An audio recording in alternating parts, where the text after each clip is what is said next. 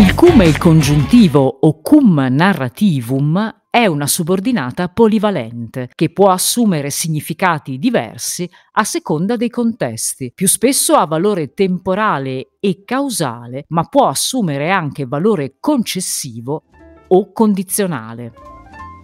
Come faccio a capire il valore del cum più congiuntivo? Con quale subordinata devo tradurlo? C'è un metodo che può esserti utile. Vediamolo insieme. Iam venit Cornelia. Ecco che arriva Cornelia, grida uno degli amici di Cesare. Cum flammeum et faces, procul, prospiciam. In prima battuta potremmo tradurre la subordinata con il cum con un gerundio, vedendo io da lontano il velo e le fiaccole. Traduciamo cum prospiciam con il gerundio semplice perché prospiciam è un congiuntivo presente. Tra la principale iam venit Cornelia e la subordinata con il cum c'è un rapporto di contemporaneità. A questo punto posso perfezionare la traduzione specificando il valore della subordinata con il cum che ho tradotto nella forma implicita con il gerundio. Nella vignetta è evidente che tra la subordinata con il cum